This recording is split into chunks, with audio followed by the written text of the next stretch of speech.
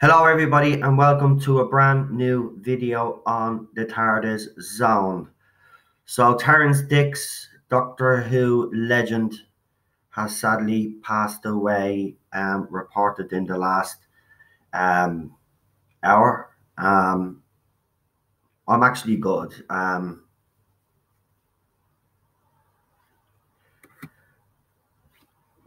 for anybody that doesn't know, because um, we've got younger, I've got younger uh, subscribers. I'll just read you a brief rundown of his uh, Doctor Who career. Um, in 1968, Dicks was hired as an assistant script editor on the popular BBC sci-fi fiction TV series Doctor Who. He was appointed head script editor the following year and earned his first writing credit for the programme when he and Hulke uh, wrote the 10 part serial The War Games, which concluded the series' sixth season and the second Doctor's tenure. Dicks had, however, been the uncredited co writer of the earlier serial The Seeds of Death, having extensively rewritten Brian Hayles' original script. Dicks went on to form a highly productive working relationship with incoming Doctor Who producer Barry Letts, serving as script editor on all of Letts' five seasons and head of the programme from 1970 to 1974. In 1972, Dicks embarked on a parallel career as an author with the publication of his first book, The Making of Doctor Who, a history of the production of the TV series which he co-written, which was co-written by Hulke. After stepping down as script editor, Dicks continued his association with Doctor Who, writing four scripts for his successor, Robert Holmes. These were Robot, uh, Tom Baker's first outing in 1975, uh, The Brain of Morbius, uh, which was 1976, for which Dicks was credited under the um, pseudonym, if I'm right, if that's how you say it, uh, Robert Robin Bland. After his displeasure, Holmes' rewrites prompted him to request that it be shown under some bland. he changed his name because he wasn't happy. Uh, he also did uh, horrors of uh, uh it was horrors of Fang Rock and at State of Decay, both in uh, one in night horrors of Fang Rock in 1977 and State of Decay in 1980. State of Decay was in fact rewritten version of the original uh, titled The Vampire Mutations, which had been due for publication or uh, production during season 15 until the BBC decided that the uh, vampire team would clash with the plot of its new adaptation of Bram Stoker's Count Dracula, which was due for transmission at roughly the same time and replaced it with the horror of Fang Rock. Dicks penned his final Doctor Who script in 1983 when he wrote the programme's 20th anniversary special, The Five Doctors, which I absolutely love. We have it there and all. It's one. It's great story. Great story. Dicks' other work for Doctor Who include two stage plays, Doctor Who and the Daleks in the Seven Keys to Doomsday in 1974 and Doctor Who The Ultimate Adventure in 1989 and an audio drama for Big Finish Productions titled Come Back in 2002, which was the first to feature uh, the former Doctor's companion, Sarah Jane Smith, in a significant capacity. Um,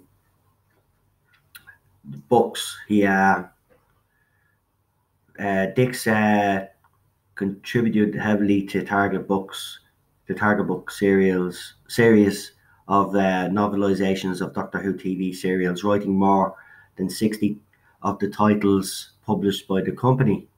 As Dicks explains in an interview in a documentary built for the war, included in a 2006 DVD release of the Sontaran experiment, he serves as the unofficial editor of the Target Books range.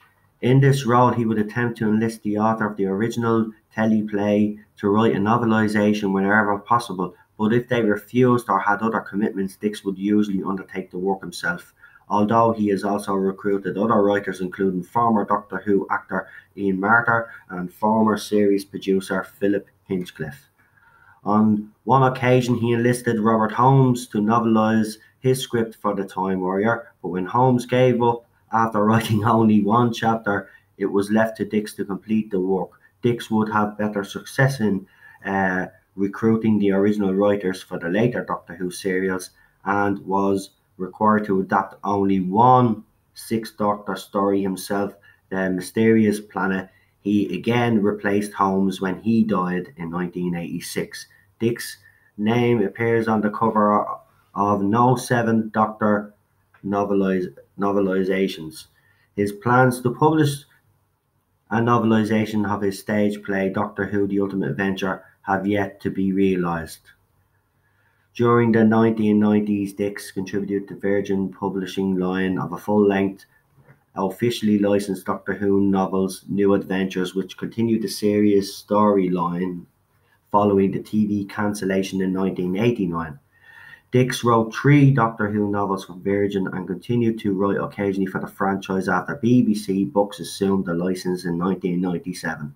He wrote the first of the Eight Doctors adventures titled The Eight Doctors, which was for the first time the best selling original Doctor Who novel. World Game featuring the second Doctor is set during the so called Season 6B. His most recent contributions to the, to the range are quick read books uh, Made of Steel and Revenge of the Judoon, both featuring the 10th Doctor and Martha Jones.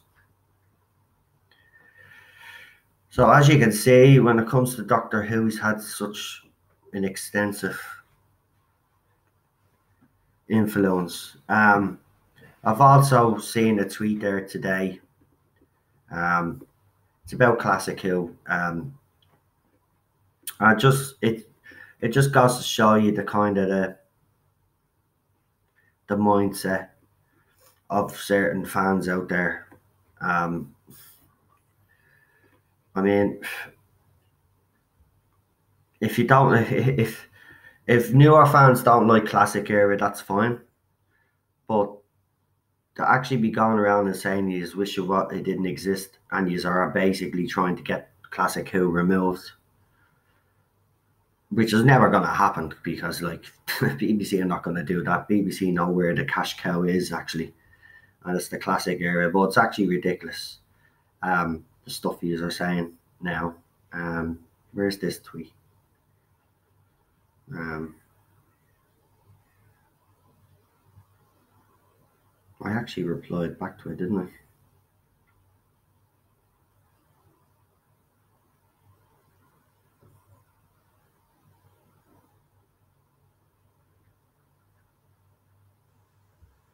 and I've got a I've got a pro Jodie fan now. Like Terrance Dicks is dead, right? And I'll put put something up, and then go acknowledge all me reading your dumb Twitter. Like they've no respect. You know what I mean? Man is just passed away, no respect. Anyway, it was from it was from uh, someone that I followed. They were basically saying that uh, the newer fans out there are basically getting together and they're trying to get rid of classic Who. Um, it's never going to happen. These are a bunch of clowns if you think that's going to happen. Um, Classic Who is probably uh, the re- well, Classic Who is the reason why you have, even have a show now. And if you think BBC are going to get rid of that, you have another thing coming. Um, it's actually ridiculous. And show some bloody respect today, will you? Have a bit of bloody um, grace. Someone in the Doctor Who world died today, and you want to take a pop at, at, at me. Like, really grow up. All right. Enough is enough. Right, listen, I'm gonna go um because I'm live later on tonight. So I'll talk to you later on at 10. I will put the live chat up. Jesus, I was gonna put the live chat up like I normally do, but because the live oh yeah, people have asked about the live streams last night. So right, this is the deal. During the first live stream I completely cut off and what you call it, the screen and all went blank, black. Then the same thing happened. Then, right at the end of the second live stream, there's something wrong with me YouTube. I couldn't even get to get, keep them up. Um, and so I'm hoping tonight that all the issues are resolved. Um, and hopefully we can have a, a live stream that's um, we have no issues. But look, I will uh, I'll talk to you later on at 10. Right? Have to go now. Bunch of knobs on this. Right, go on.